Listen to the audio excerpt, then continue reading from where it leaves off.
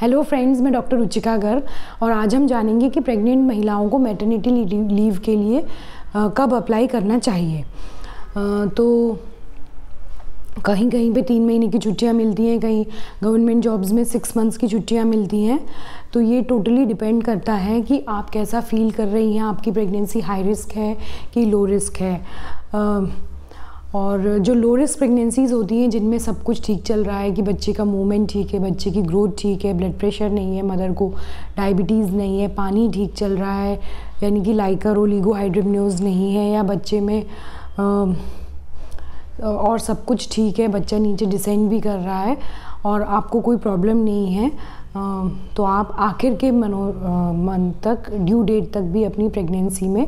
जा सकती हैं क्योंकि अपने ऑफ़िस क्योंकि अगर आप बेबी के होने के बाद छुट्टियाँ लेंगी तो वो ज़्यादा बेटर रहेगा, क्योंकि आप बेबी के साथ टाइम स्पेंड कर पाएँगी। लेकिन अगर आपकी हाई रिस्क प्रेगनेंसी है, जैसे कि अगर आपको डायबिटीज़ है हाइपरटेंशन है, या आपका पहले सिजेरियन हो रखा है, या आपकी प्रेगनेंसी में कोई और कॉम्प्लिकेशंस हैं, जैसे कि ऑब्स्टेटिक कॉलिस्ट्रेसिस आपको रात में सोते समय बहुत ज़्यादा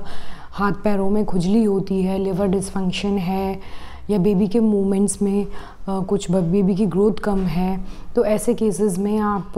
को डॉक्टर जनरली साढ़े आठ महीने पे ही लेबर पेन इंड्यूस करने की सलाह दे सकते हैं तो ऐसे साढ़े आठ महीने पे आपको छुट्टी लेनी होगी।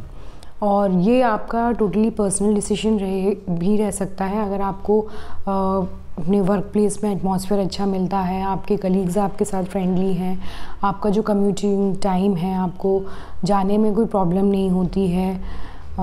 तो आप अपनी छुट्टियों को, और लो रिस्क प्रेगनेंसी भी है तो आप अपनी मेटर्निटी लीव को लेट भी अप्लाई कर सकते हैं। लेकिन अगर आखिर के दिनों में आपको बहुत प्रॉब्लम हो रही है, कमर दर्द हो रहा है, आपको पहुँचने में प्रॉब्लम हो रही है, या आपको रात में प्रॉपर नींद नहीं आ रही है थकान बहुत ज़्यादा है टायर्डनेस है तो आप जल्दी भी छुट्टियाँ अप्लाई कर सकते हैं। तो ये टोटली आपकी कंडीशन पे डिपेंड करता है। आ,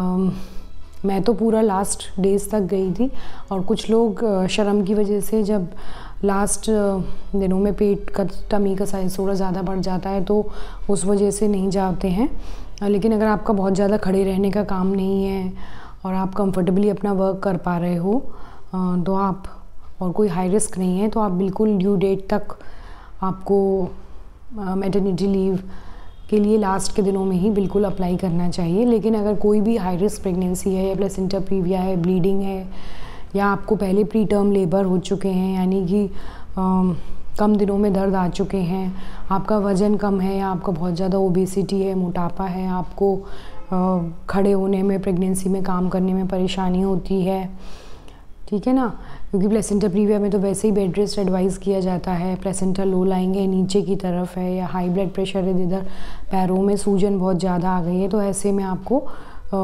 आठवें महीने से प्रेगनेंसी की लीव लेके आप घर में रेस्ट कर सकते हैं। और ये टोटली आपके डॉक्टर के डिसीज़न पे रहेगा। आप अपने डॉक्टर से पूछिए कि, मैडम, मैं कब तक काम पे जा सकती हूँ? Thank you for watching this video share with friends और लाइक ज़रूर दबा दीजिए। ठीक है? Bye take care